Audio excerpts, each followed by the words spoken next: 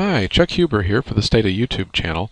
I'd like to show you how to use the margins command with multiple regression. And again, this could be logistic regression or other things. I'm going to be using linear regression for this example.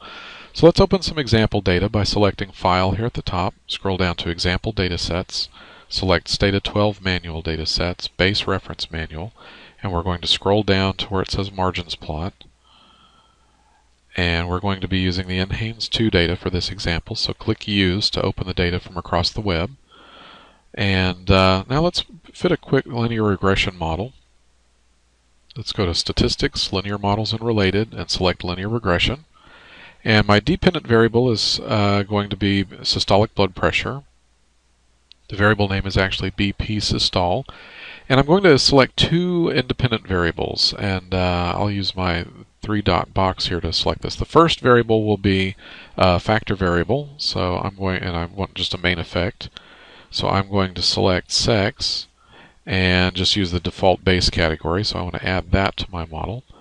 And then the other uh, variable that I want to add is just a simple variable is going to be age. So I'm going to click add to var list there. Now if I click OK, I have uh, sex as a categorical or factor variable in my model as well as age. And if I click um, OK, Stata will fit that model. Now, what I can do if I wanted to get predictions from my model is I could go up to uh, Data and select Other Utilities and select Hand Calculator. And I could build an expression for this. Uh, so let's do that quickly so we can see explicitly what we're doing. Let's uh, cl click the plus next to coefficients select coefficients, and if I want to compute a predict, predicted systolic blood pressure from this model, I can double click constant. Let's move this over so we can see it better. And then click plus. And then let's do this for uh, group 2, which is females, uh, sex. And then click plus right here. And then double click age. And then we need to multiply age times something. So let's do this for a 30 year old. So let's multiply age, uh, excuse me, the age coefficient times 30. And if I click OK and then submit, uh, I've computed the predicted systolic blood pressure for a 30-year-old female using the coefficients from my model. Okay, and that prediction would be 117.4 and change. Okay, but the margins command makes this much easier to do, um, and there are many more things we can do with it. So I'm just going to show you the basics right now. Let's click on statistics and scroll down to post estimation. And we're going to select marginal means and predictive margins. And let's move this over. And uh, let's leave off the main uh, ignore the main tab for now and just select at. And then in this box in the middle let's click create and come to the bottom where it says fixed values. And I want to check box number one and select covariate sex. And uh, I'm just going to type sex equal 2 because I want uh, the for females here. So sex is equal to 1 and 2, 2 is equal to females.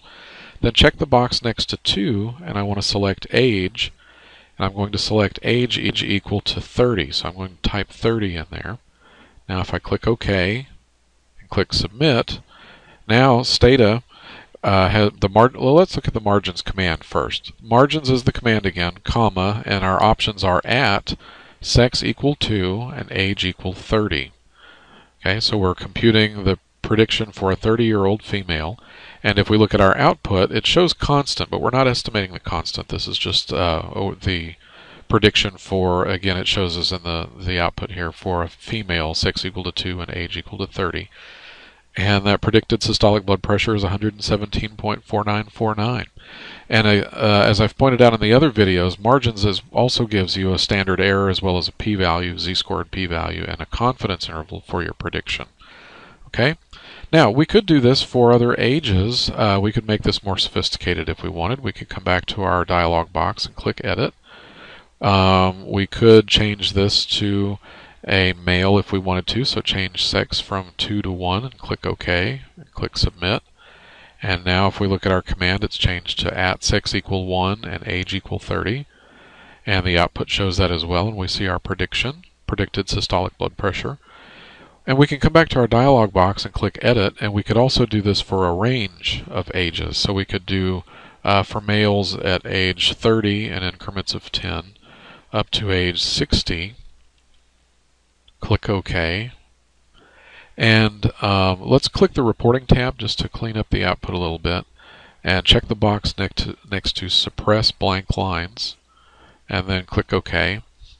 And now we can see what our predictions are specifically. Number one is the prediction at sex equal to 1 and age equal to 30. So this is a 30-year-old male, and that equals the predicted systolic blood pressure would be 121.5 and change. And uh, expression number two would be sex equal to 1 and age equal to 40, and that predicted systolic blood pressure would be 128. And then I think you can see how the rest work. Expression 3 is a 50-year-old male, and expression 4 is the prediction for a 60-year-old male. Okay, And again, we get uh, the advantage of doing it this way, aside from saving time doing the calculations ourselves, is that we also get standard errors and confidence intervals and test statistics. Okay, So that's how we can combine uh, we can use margins to do predictions for combinations of variables, even uh, combinations of categorical and continuous variables together. Okay, I hope this was helpful. Thanks for stopping by.